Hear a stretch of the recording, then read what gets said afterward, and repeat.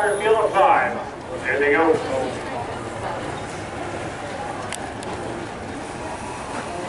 And they're off and trotting.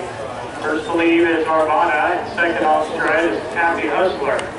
Now from the back row, Pierre Book of Chapters moves into the two position. Third is GS Speedy Pete Hanover. Now fourth is Capo Jewel. And Happy Hustler fifth as they trot through the opening turn. Arvana, your leader, by three. Trotting second, Pierre Book of Chapters. Trotting there third is GS Speedy Pete Hanover. Fourth, now comes Happy Hustler James Little Jewels at the back. They go to the quarter mile marker and on the front end is Arvana.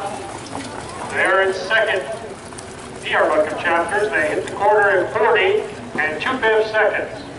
Down the backside, they trot second and final time. Arvana, your leader, has led every step so far. The PR of Chapters charging up second now. In third, GS Speedy, the Hanover fourth is Happy Hustler and Hayes Little Girl. Off strike there in second with PR of Chapters, and now Arvana is clear by six.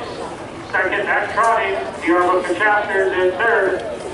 GS Speedy Pete Hanover as they trot for the finish here tonight race 11. It's all Arvana, gate to wire Diane Dietrich. Second, PR Book of Chapters, and third is GS Speedy Pete Hanover.